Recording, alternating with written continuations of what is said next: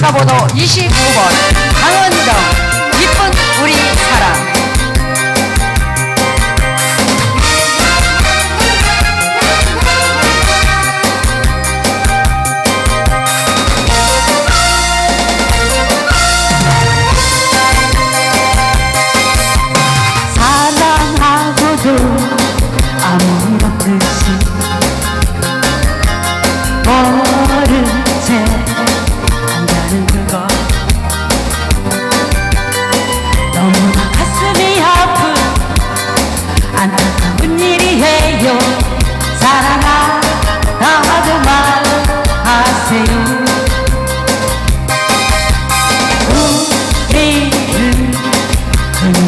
horizon